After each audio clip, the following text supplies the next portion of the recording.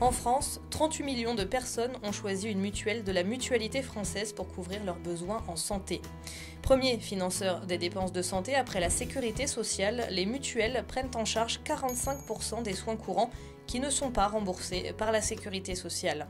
Sans mutuelle, cela peut donc coûter très cher. Contrairement aux assurances, les mutuelles de la mutualité française sont des sociétés de personnes à but non lucratif. Entreprises de l'économie sociale et solidaire, elles n'ont pas d'actionnaires à rémunérer et les décisions sont prises par des adhérents élus. En Pays de la Loire, la mutualité française fédère 210 mutuelles de santé qui protègent 2 millions d'adhérents, soit un Ligérien sur deux. On l'oublie souvent, mais la mutualité française, c'est aussi le premier réseau sanitaire et social à but non lucratif avec des services de santé mutualistes accessibles à tous.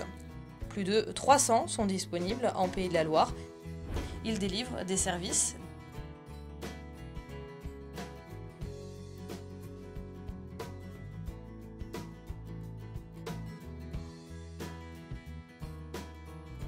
des soins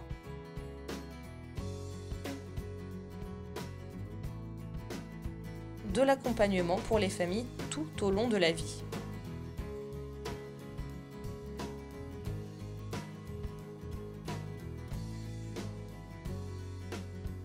Par leur pratique tarifaire, ces services jouent un rôle de modérateur sur les dépenses de santé.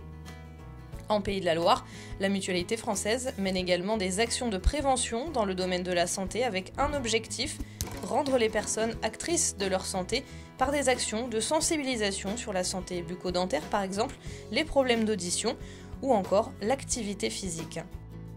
Enfin, pour favoriser la qualité des soins et la maîtrise des tarifs, la Mutualité française Pays de la Loire développe des relations contractuelles avec des professionnels de santé. Portée par des militants mutualistes, la Mutualité française Pays de la Loire est impliquée dans plusieurs instances régionales de santé publique. Elle y défend les principes d'un système de santé accessible à tous. Au quotidien, la mutualité française en Pays de la Loire, ce sont près de 7000 collaborateurs issus des métiers de la complémentaire santé, du médico-social et du sanitaire, mais aussi plus de 200 mutualistes bénévoles qui œuvrent ensemble pour une santé plus solidaire en région.